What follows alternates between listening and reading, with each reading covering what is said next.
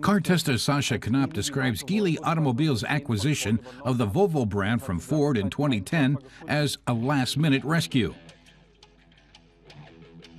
At first, the new ownership constellation did not seem to bode well, but after three years, the Chinese car and motorcycle maker's nearly 10 billion euro investment program is starting to produce results, like the latest XC90. The updated model introduces a new design vocabulary.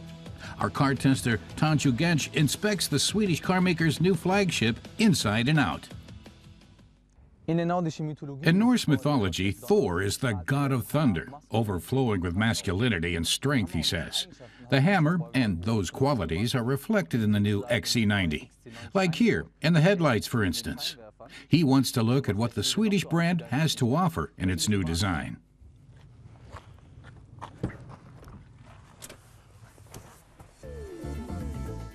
The distinctive new grille and T-shaped LED daytime running lights give the SUV a confident air, a face that in future is to grace all of Volvo's models. The elegant and luxurious package of extras is called the Inscription.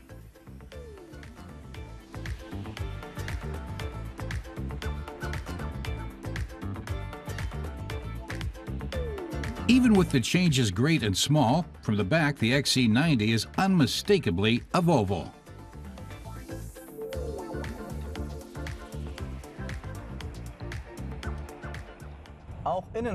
Tanju notices quite a few changes in the model's interior. There's a digital instrument cluster and a 22.8-inch head-up touchscreen display embedded in Volvo's trademark center console. All the functions can be controlled via this display. Volvo appears to have borrowed a few ideas from electric car manufacturer Tesla Motors. The tablet-style display gives easy access to all the car's options and settings. Along the bottom of the center console is a row of seven buttons and a dial. The sound system has also been thoroughly reworked.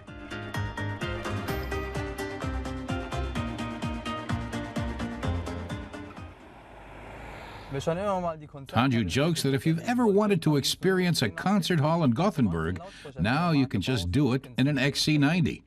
19 Bowers and Wilkins speakers are installed, and the concert hall option activates them all. A glance at the specs reveals that even after downsizing from a six to a four cylinder engine, the Volvo XC90 still got plenty of power. The T6 we tested sends 235 kilowatts to its all wheel drive, propelling the vehicle's two tons from zero to 100 kilometers per hour in six and a half seconds. Technology tester Sasha Knapp checked out the safety features. He says the new XC90 has made some advances in terms of safety. It's got, for instance, a new driver's assist that senses if the car runs off the road. This isn't a lane departure warning, it actually works passively. It activates an electronic belt tightener that keeps the seatbelt firmly tightened during an accident, he says. Many other systems use a pressurized gas chamber. Once it's empty, the tension on the seatbelt lets up very rapidly, but this electronic belt tightener keeps the tension up the entire time the vehicle is in motion. Dieser elektronische Gurtstraffer sorgt dafür, dass die Spannung die ganze Zeit über erhalten bleibt. Runoff road protection is standard on the new XC90. The moment the sensors detect the car leaving the asphalt, the front seat belts are tightened electronically as far as they'll go, and kept that way until the vehicle comes to a standstill.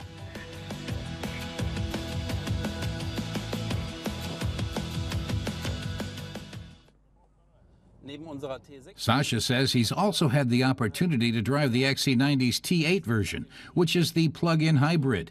It puts out 294 kilowatts of power, but carries a hefty price tag, over 76,000 euros. For that, it promises both sportiness and environmental friendliness. Now he's going to take a look. The T8 is the top-of-the-line XC90. With just two and a half liters of fuel per 100 kilometers, this beefy SUV puts out 294 kilowatts of power, but produces just 59 grams of CO2 per kilometer. A touch of class in the interior is the shift lever made of crystal glass. Design tester Tanju Gensch sums up. Der Volvo XC90 hat The XC90 has evolved. The front is new, but the rear is typical for Volvo.